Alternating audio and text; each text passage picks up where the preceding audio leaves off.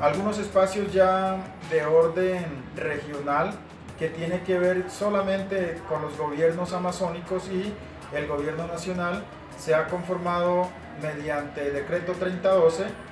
eh, la Mesa Regional Amazónica. Este es un espacio de alto nivel, como decimos nosotros, entre delegados de los pueblos indígenas y la delegación de gobierno para tratar asuntos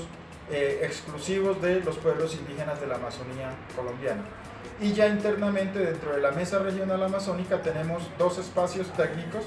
que se han creado hasta el momento. Un espacio tiene que ver con eh,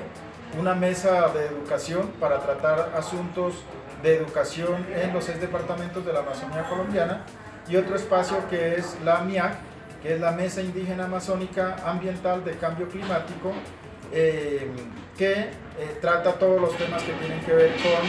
eh, precisamente cambio climático y las diferentes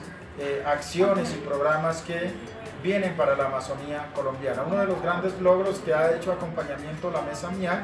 ha sido el programa Visión Amazonía, que en estos momentos está en ejecución y que pues afortunadamente muchas comunidades y asociaciones de base tienen esa gran oportunidad de estar ejecutando recursos del programa mm, Visión Amazonía.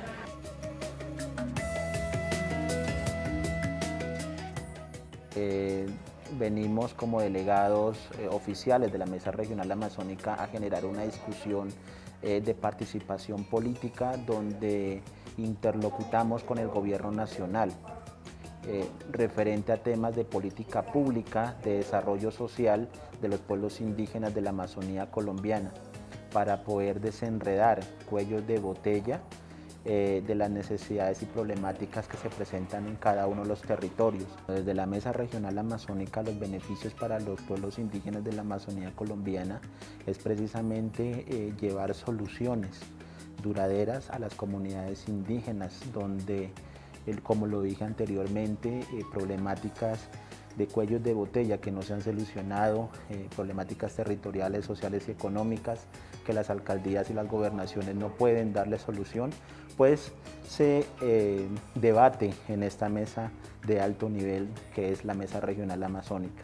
Es por ello que se llevan eh, proyectos, se llevan iniciativas frente a la política pública de desarrollo social para los pueblos indígenas de la Amazonía colombiana.